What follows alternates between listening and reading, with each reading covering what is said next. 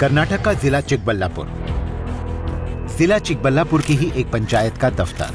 पंद्रह गाँव इसके तहत आते हैं और पंद्रह गाँवों के हर बाशिंदे को अपने हर काम के लिए यहीं आना पड़ता है। लेकिन क्या यहाँ काम होता भी है? सरकारी पैसे का हिसाब किताब कहाँ है? कोई नहीं जानता। इसके समाधान का बीड़ा उठाया department of rural development and Panchayati Raj और नेशनल इंफॉर्मेटिक्स सेंटर ने।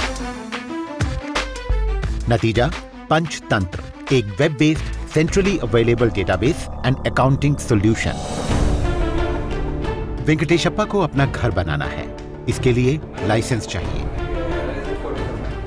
कई हफ्तों तक पंचायत के चक्कर काटता रहा, लेकिन कुछ नहीं हुआ।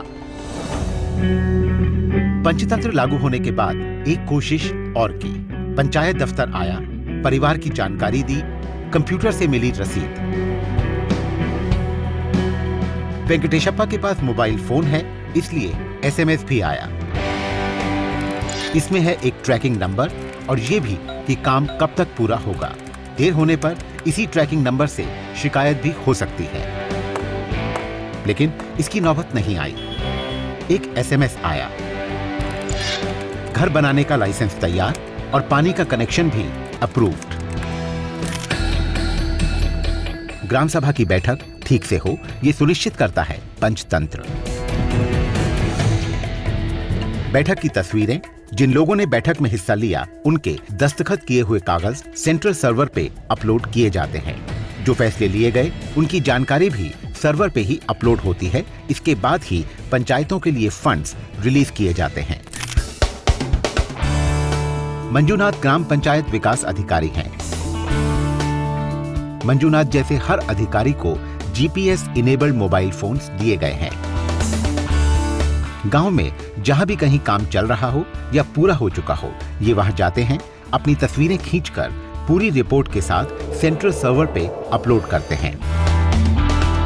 ये तस्वीरें जीपीएस के साथ जुड़ी हैं, इसलिए गूगल मैप जैसे टूल्स के सहारे कोई भी अधिकारी कहीं भी बैठकर जब चाहे, चल रहे या हो चुके काम पे नज़र रख सकता है।